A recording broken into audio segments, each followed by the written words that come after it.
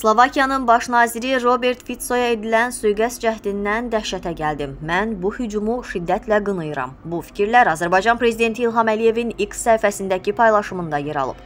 Dövlət başçısı Slovakiyalı nazirə tezliklə sağalmağı diləyib. Qeyd edək ki, mayın 15-də Slovakiyanın baş naziri Robert Fico kabinetin iclasından sonra baş verən atışmada yaralanıb.